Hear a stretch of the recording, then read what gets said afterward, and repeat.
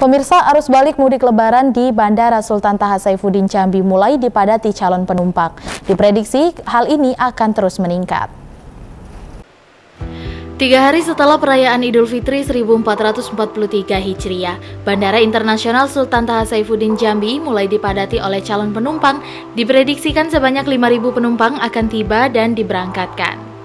Berdasarkan pantauan di bandara, situasi tahun ini sangat berbeda dengan tahun lalu seiring dengan adanya aturan pelonggaran mudik lebaran 2022. Tahun lalu, Bandara Sultan Taha hanya menyiapkan 2 hingga 4 penerbangan dengan 3 maskapai per hari, sementara tahun ini mencapai 26 penerbangan dengan 7 maskapai.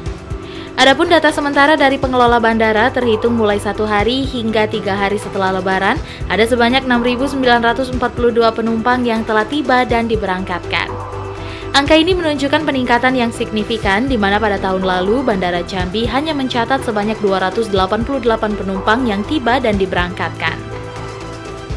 Sementara itu berdasarkan SE nomor 36 tahun 2022 tentang perjalanan dalam negeri dengan transportasi udara pada masa COVID-19, syarat untuk penerbang di usia 17 tahun ke atas hanya menunjukkan vaksin dosis ketiga dan usia 6 hingga 17 minimal dosis kedua. Rian Cencen, Cek TV, melaporkan.